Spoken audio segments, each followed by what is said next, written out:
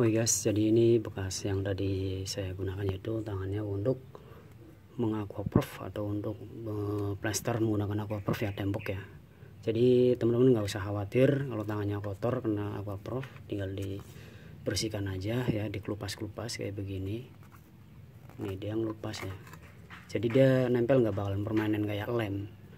Ini misalkan nih di dalam kuku nih, tinggal ditarik aja, dia bersih lagi tuh jadi kayak sarung tangan hasilnya. Nah ini bekasnya udah banyak ya. Nih kayak gini nih. Jadi kayak masker wajah hasilnya ya.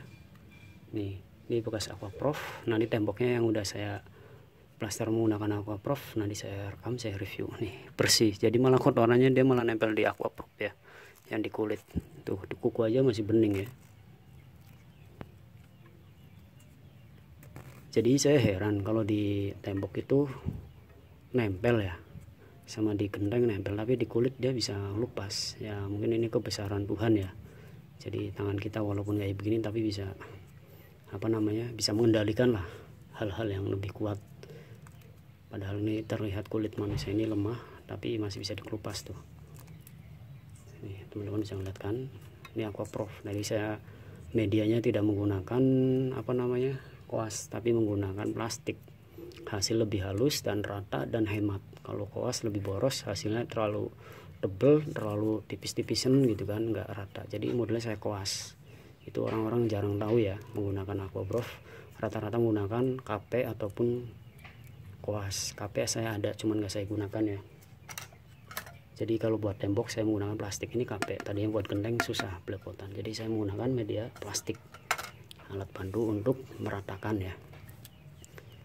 Jadi teman-teman nggak usah khawatir tembok rumah ataupun perumahan ya. Pada retak nggak usah diplaster ulang ataupun dicat lebih baik menggunakan ini ya aqua prof atau no drop. Dia fungsinya yaitu elastis. Dia kalau suhu dingin kena hujan dia makin kuat. Kemudian kalau misalkan dia di suhu panas dia memuai dia tidak akan retak. Jadi cuma kayak lembek doang. Nanti dia keras lagi elastis lah intinya seperti itu ya. Oke cukup sekian. Nah ini cara bersihnya kayak begini ya. Nanti saya review lagi ya tembok yang udah saya ini tempelin no drop karya sendiri maden sendiri. Jangan lupa di subscribe ikuti channelnya ya. Dan like video jika suka dan share ke teman-teman. Jika bermanfaat jika ada pertanyaan silahkan komentar. Dan sampai jumpa di video selanjutnya. Bye bye